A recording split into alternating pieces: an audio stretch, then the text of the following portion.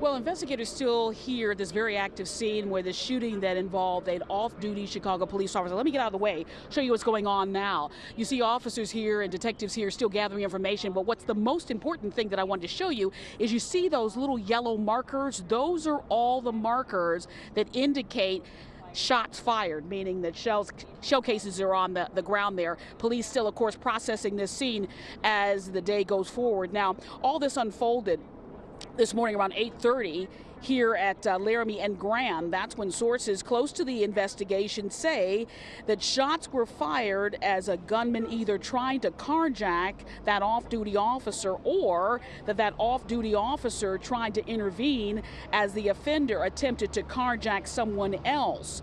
It's still unclear if there was any kind of exchange of gunfire or if the offender is the one who opened fire. Now, police here, investigators here at the scene have yet to confirm any details so far, but our sources are telling us this, these preliminary details as they continue to investigate. We're also learning that there may be a second crime scene about a 12 blocks away. So around the area, just up on Fullerton, there may be another crime scene there that uh, is being looked at.